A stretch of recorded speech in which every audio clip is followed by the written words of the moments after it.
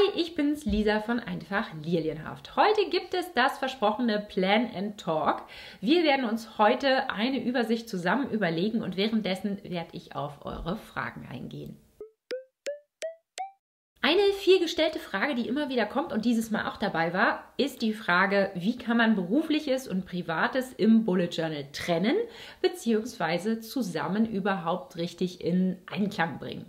Ja, das ist immer eine spannende Frage für diejenigen, die eben ihr Bullet Journal auch auf Arbeit dabei haben und ja, so ein bisschen davor zurückschrecken, dann da auch Privates reinzuschreiben, weil es vielleicht jemand sehen könnte, ja, weil es verloren gehen könnte. Also ganz klar, die Idee des Bullet Journals verfolgt wirklich, dass man berufliches und privates miteinander verbindet, keine getrennten Bücher hat weil ja immer das Berufliche auch mit dem Privaten zusammenhängt, das Private mit dem Beruflichen. Also man ist ja der Mensch, der man ist und mit den Dingen, die man privat erlebt, geht man eben auch zur Arbeit und dann erlebt man da wiederum da Sachen, die Einfluss haben auf das Privatleben. Also es würde fast keinen Sinn machen, das voneinander zu trennen. Wenn man es denn trennen möchte, dann hat man halt einfach auf Arbeit ein Notizbuch, würde ich mal sagen, und hat halt privat sein Bullet Journal. Das macht auf jeden Fall Sinn. Immer zu sagen, man hat dann so ein berufliches Bullet Journal, das ist, glaube ich, glaube ich, so ein bisschen ein Ansatz, der haut nicht hin. Das ist dann meistens kein Bullet Journal in dem Sinn, sondern ja, also ein Bullet Journal ist schon ein komplettes System, das auf eine gewisse Weise funktioniert. Ansonsten ist es halt einfach ein Notizbuch oder ja, ein Arbeitsbuch. Ja, genau. Also da mit dem Wording ein bisschen aufpassen. Ich habe heute aber eine Idee, wie wir das Ganze im Bullet Journal anlegen können, dass wir tatsächlich wirklich äh, so ein bisschen eine Trennung hinkriegen und dass man vielleicht so ein paar Blicke abwehren kann, weil es nicht ganz so offensichtlich ist. Das probieren wir heute zusammen aus und währenddessen legen wir jetzt direkt los mit den anderen Fragen. Also, wir starten mit einer Doppelseite, die ich hier erstmal in der Mitte falze. Damit habe ich quasi eine Seite geschaffen, wo ich etwas verstecken kann. Genau hier. Ich würde sagen, wir legen mal eine Art Monatsübersicht an, die wir so als Orientierung nutzen können. Also hier wäre ja dann Privates. Erstmal als Orientierung. Und diesen Bereich könnte man ja auch noch locker als privat nutzen, weil das ist ja in der Regel dann abgedeckt. Ja, also so von der Logik erstmal. So entwickle ich auch Layouts, also erstmal zu überlegen, wie sieht das überhaupt aus.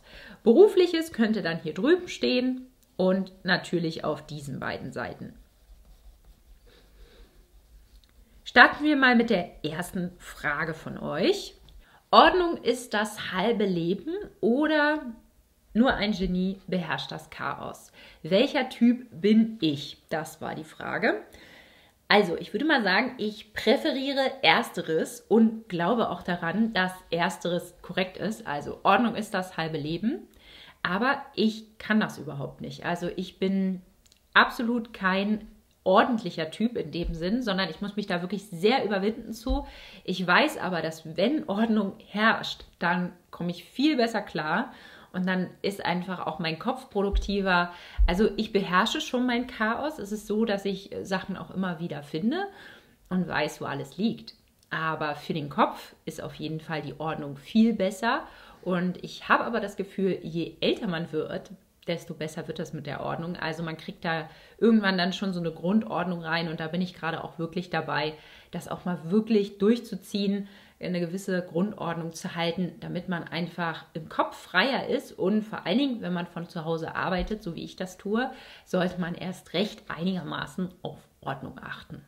So, Genau, also wenn man jetzt hier, legen wir das mal weiter an, wenn wir jetzt hier eine Übersicht haben für Privates, dann hätten wir hier quasi unsere Monatsübersicht. Und das würde ich aber praktisch denken. Also wir legen das vielleicht jetzt wieder am ähm, Februar an. Der hat 28 Tage, das heißt, das sind 14 Zentimeter. Und dann bräuchte ich quasi diesen Bereich hier für meine Übersicht. Das machen wir klassisch, wie es beim Bullet Journaling eigentlich so üblich ist. Also so auf diese Art. So, kommen wir mal zur nächsten Frage. Und zwar, wie nutzt du Dailies und Weeklies sinnvoll? Ich habe gerade mit Weeklies angefangen und bin begeistert, aber es doppelt sich schon irgendwie. Dazu muss man erstmal sagen, die Weeklies sind in dem Bullet Journaling eigentlich nicht angelegt. Sie sind von Ryder Carroll überhaupt nicht so initiiert worden. Also es gibt eigentlich nur das Monthly Log und dann kommen die Daily Logs. Dieses Weekly Log, das hat eigentlich die Community geschaffen, weil ihnen immer so ein bisschen ein verbindendes Element gefehlt hat zwischen ähm, Monatsübersicht und den Tagesübersichten. Und daraus hat sich ihm dieses Weekly Log erschaffen. Ich glaube, das ist auch so ein bisschen dem geschuldet, dass die Leute, die aus der Schule kommen, quasi noch gewöhnt sind, dass man immer seine Wochenplanung hat, also von Montag bis Freitag quasi da das so anlegt. Und na gut, Kalender sind auch meistens so angelegt, also es ist gar nicht nur in der Schule. Aber so hat man immer dieses Weekly im Kopf. Zum eigentlichen System gehört es, wie gesagt, gar nicht. Aber es gibt immer wieder Leute, die sagen, sie brauchen diese Weeklies einfach, um so ein bisschen, ja, Planung für die Woche machen zu können, ohne dass sie in dem Monthly immer alles direkt planen wollen. Ich kann das total nachvollziehen und ich bin hier immer der Befürworter gewesen zu sagen, okay, probier es mal aus, nur mit Monatsübersicht und Tagesübersichten. Viele machen ja auch gar keine Tagesübersichten, sondern machen nur Wochenübersichten. Also da wirklich mal diese Tagesübersichten auch zu machen. Ja, und dieses Doppeln, das ist ein Punkt, der beim Bullet Journaling ganz klar gewollt ist. Also dabei geht es immer wieder darum zu übertragen. Ähm, und durch dieses Übertragen fragt man sich halt immer wieder, okay, will ich das jetzt wirklich mitnehmen oder eben nicht? Und dadurch passiert ja ein Prozess, den man für sich selbst auch beobachten kann. Ist einem irgendwas wichtig? Ist es nicht mehr so wichtig? Erledigt sich das vielleicht im Laufe des Monats? Und dann macht man ja meistens auch eine feinere Planung in der Woche noch, als es im Monat erforderlich ist. Insofern sollte sich das eigentlich schon ein bisschen unterscheiden, aber eben auch doppeln. Und wie gesagt, das ist auch gar nicht schlimm. Die eigentliche Frage war aber ja, wie nutze ich Dailies und Weeklies? Die Leute, die hier meine Videos öfter gucken, die wissen ja, ich lege ganz oft so Mini-Weeklies an, wo ich nur so einen kurzen, knackigen Überblick habe. Und dann ist es ja so, im Bullet Journal im B5-Format ist es halt ganz schön, dass man dann theoretisch direkt auf der nächsten Seite loslegen kann. Und dann hat man die, diese Mini-Weeklies immer, vielleicht auch nur eine halbe Seite und schreibt dann hier die Dailies hin. Und das finde ich super, weil man diesen Überblick hat und dann kann man aber seine Dailies direkt daneben packen. So, also da kann man schon mal gut mitarbeiten. Jetzt brauche ich meine Überschrift.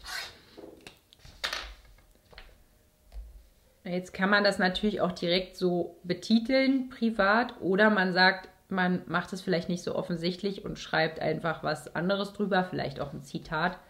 Ähm, und dann hat man hier drüben noch den Bereich, da würde ich vielleicht dann unterteilen. Also man legt quasi zwei Monatsübersichten in einem an jetzt.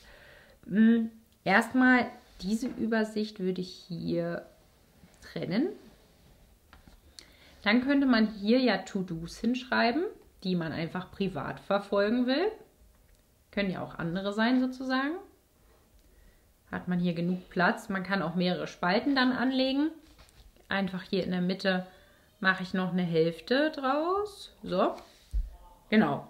Und dann habe ich hier auf der rechten Seite noch mehr Platz. Da kann ich dann zum Beispiel Meal Planning machen oder sowas, ähm, wenn ich mir immer überlegen will, was es an den verschiedenen Tagen zu essen gibt. Obwohl da auch die Frage ist, warum sollte man das verstecken? Also Montag, oder das ist jetzt Mittwoch, nee, Montag, Dienstag, Mittwoch, Donnerstag, Freitag, Samstag, Sonntag. Passt genau. Genau, und dann kann man hier ähm, seinen Essensplan zum Beispiel anlegen. Will man vielleicht auch nicht, dass jeder gleich immer äh, sieht, was man da vielleicht sich überlegt. Ich weiß nicht. Also das wäre auf jeden Fall eine Trennung. Essensplan.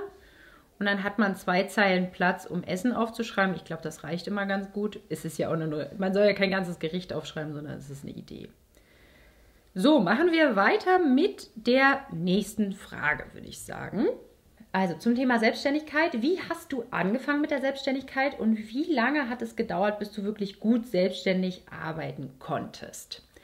Also da habe ich tatsächlich mal so ein bisschen nachschauen müssen, wie das Ganze bei mir eigentlich gelaufen ist. Ich hatte das schon fast ein bisschen vergessen Bei mir hat alles angefangen mit ersten Lettering-Workshops in 2017. Ende 2017 habe ich meinen ersten Lettering-Workshop gegeben und bin dann in 2018 so an erste Auftragsarbeiten gekommen, habe währenddessen aber immer noch fest angestellt gearbeitet und habe das als, als Nebenselbstständigkeit angemeldet, also ein Gewerbe angemeldet und dann quasi das nebenbei gemacht.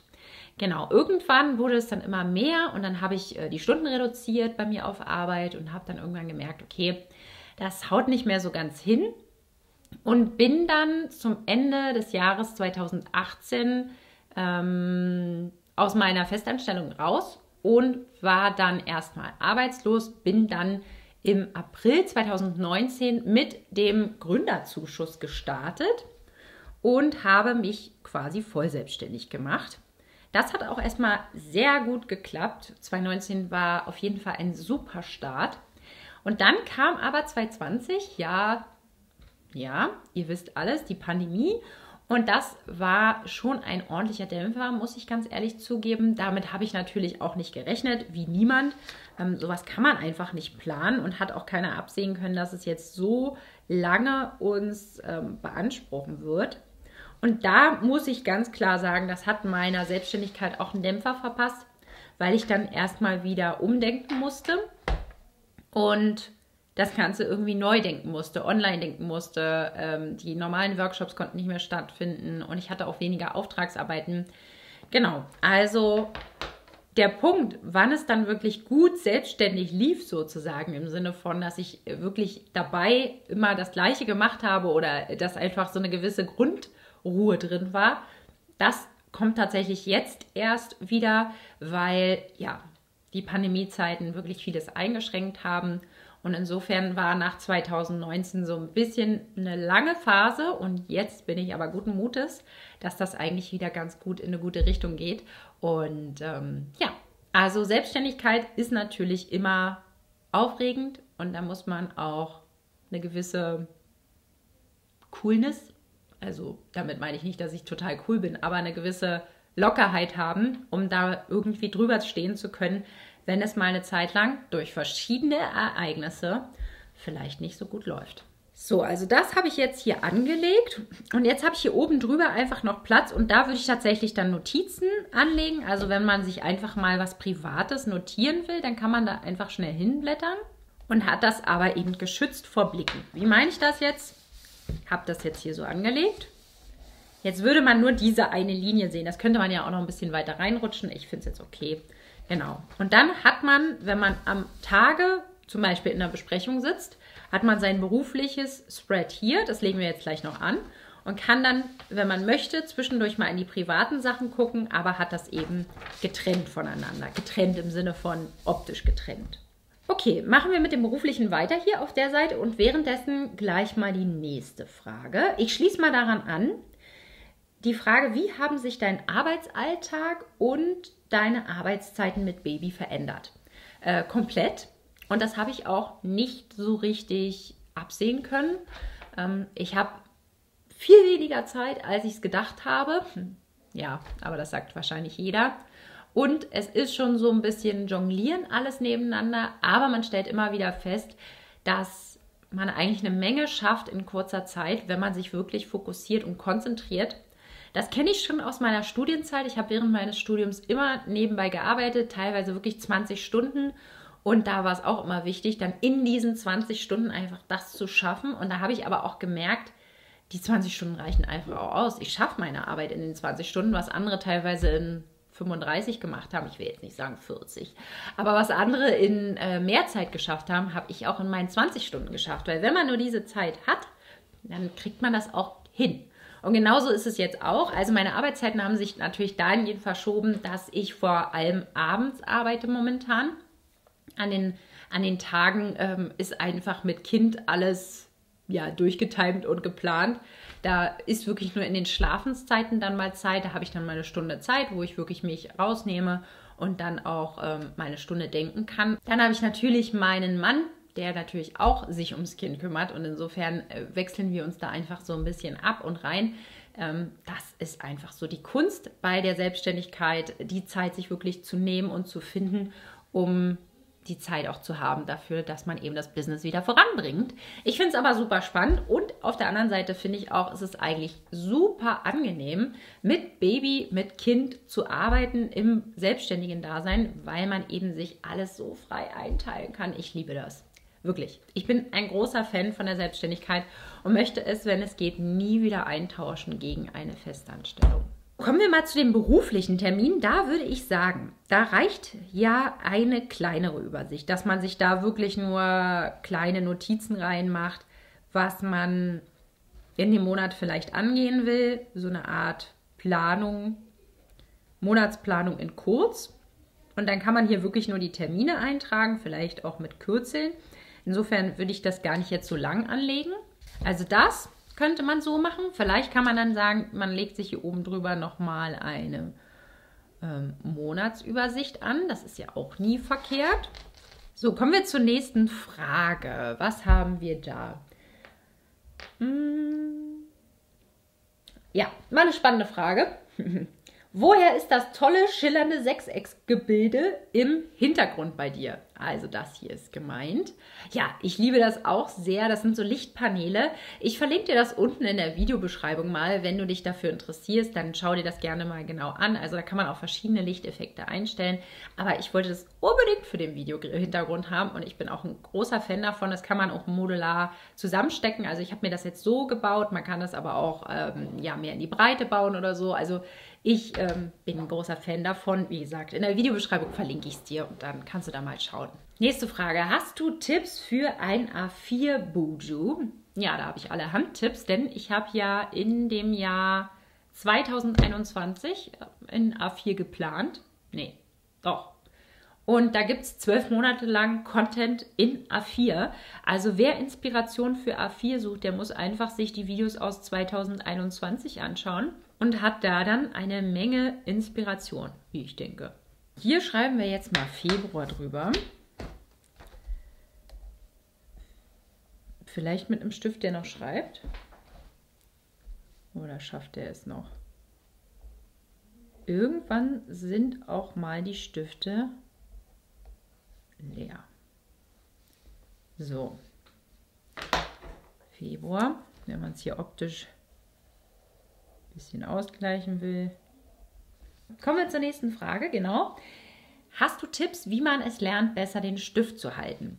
Also ich denke mal, dass es bezogen ist aufs Lettering. Und ich habe dazu tatsächlich schon mal ein Video gemacht, wie du den Brushpen hältst. Ist hier auf dem Kanal hoch im Kurs. Ich verlinke dir das hier oben auf dem i mal. Also klick da einfach mal rein. Da haben schon viele gelernt, wie man den Brushpen eigentlich hält. Eine super spannende Frage war, wieso gibt es so viele Glaubenskriege in der Bullet Journal Community?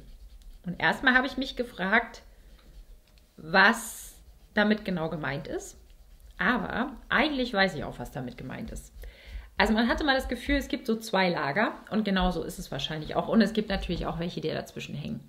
Aber es gibt diejenigen, die sagen, das Bullet Journaling ist ein System, und dieses System muss man verstehen lernen, um es für sich nutzen zu können. Und dann kommt am Ende die Gestaltung. Da gehöre ich auch dazu, zu dem Lager.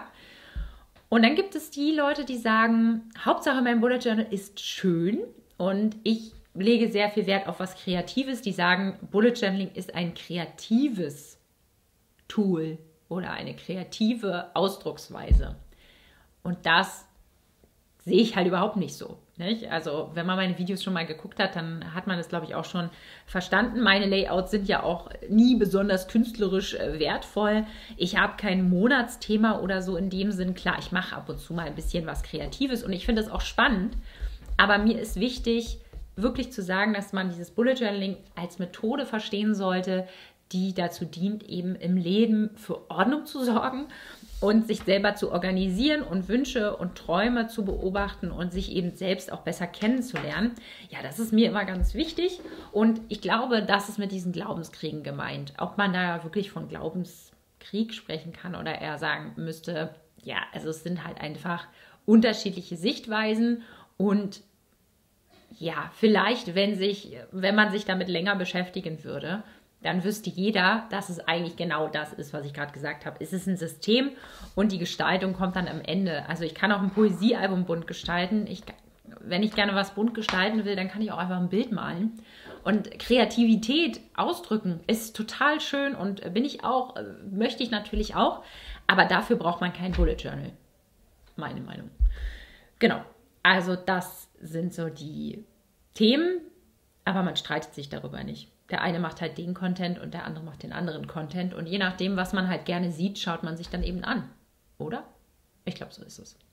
So, was machen wir jetzt hier auf die rechte Seite? Ich würde sagen, wir machen da To-Dos hin, weil auch im beruflichen hat man natürlich To-Dos.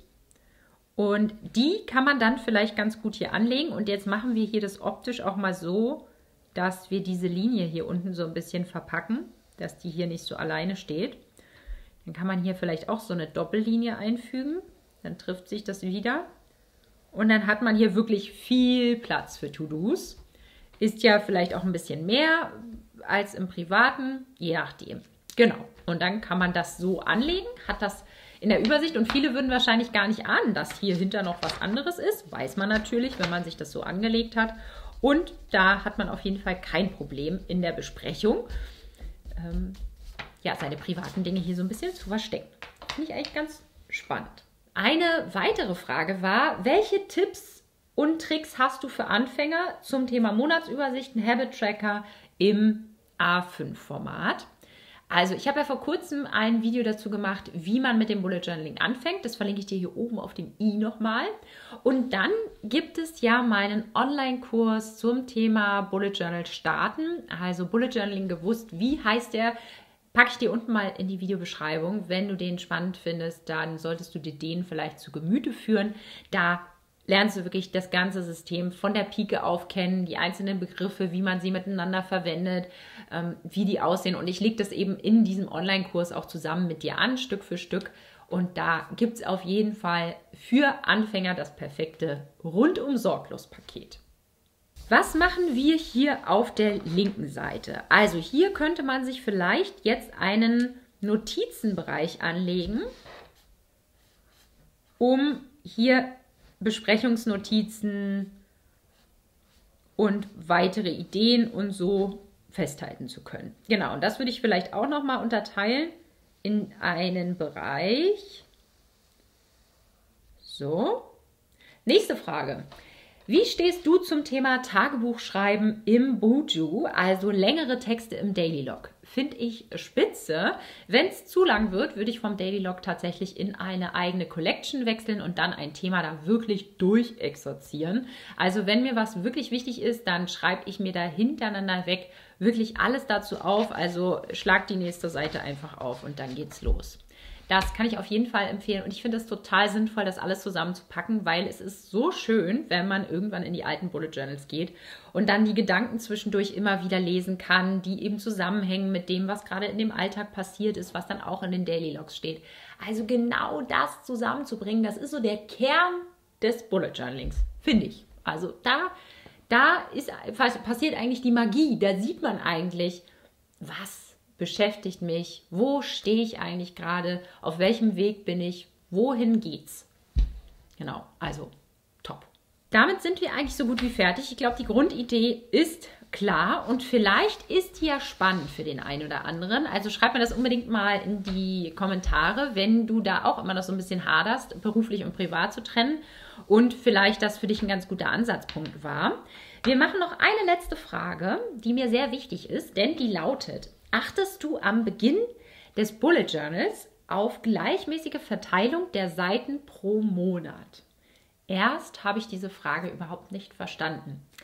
Dann habe ich darüber nachgedacht und habe völlig erschrocken festgestellt, dass es hoffentlich nicht so gemeint ist, wie ich denke. Aber ich verstehe das jetzt so, ob man, wenn man sich ein Bullet Journal anlegt am Anfang und alle Monate anlegt, dass man dann quasi gleichmäßig abzählt, wenn ich 100 Seiten in dem Bullet Journal habe, dass ich dann weiß, okay, oder ich habe 120 Seiten im Bullet Journal und weiß bei 12 Monaten, da kriegt jeder 10, ob ich das so gleichmäßig unterteile. Und nein, never, ever. Also nee, gar nicht. Das ist überhaupt nicht niemals vortragen beim Bullet Journaling. Also wir sind nur in dem aktuellen Monat. Wenn du wirklich deinen gesamten, deine gesamten Monate schon angelegt hast, ist das kein Bullet Journal. Also da hast du Grund, den Grundansatz vom Bullet Journaling falsch verstanden. Auch da empfehle ich dir dann vielleicht nochmal meinen Online-Kurs äh, zum wirklich reinkommen in die Thematik Bullet Journaling niemals Seiten vorab anlegen. Also wir starten wirklich mit einem leeren Buch und so wie man das jetzt hier sieht, das Buch ist noch leer. Das füllt sich nach und nach und dann, wenn es eben voll ist, und das kann eben auch im August schon sein, dann ist es voll und dann fange ich ein neues an und ich kann nicht absehen, wie lange ein Bullet Journal reicht. Na klar, aus der Erfahrung heraus weiß ich es ungefähr, aber keiner weiß ja, was im nächsten halben Jahr passiert, wie viele Seiten ich schreiben werde, wo es mich hinträgt und genau das ist ja das am Bullet Journal. Es ist so flexibel, dass man der ganzen Sache aber auch den Platz geben muss und deshalb niemals vortragen, hatte ich schon gesagt, nicht nicht vortragen. Man trägt nicht vor, niemals. Das ist mein letztes Wort für dieses Video niemals vortragen. Genau, ich hoffe, du hattest Spaß mit diesem Video. Lass mich unbedingt wissen in den Kommentaren, ob es dir gefallen hat oder nicht, ob ich das nochmal machen soll. Ich habe hab noch allerhand Fragen übrig, aber das würde den Rahmen jetzt vielleicht doch etwas sprengen. Und wir haben ja auch fertig geplant. Insofern würde ich die dann ins nächste mit reinnehmen. Sag mir Bescheid, ob du das sehen möchtest und dann machen wir das. Und dann würde ich sagen, sehen wir uns nächsten Donnerstag wieder zu einem neuen Video. Ich freue mich drauf.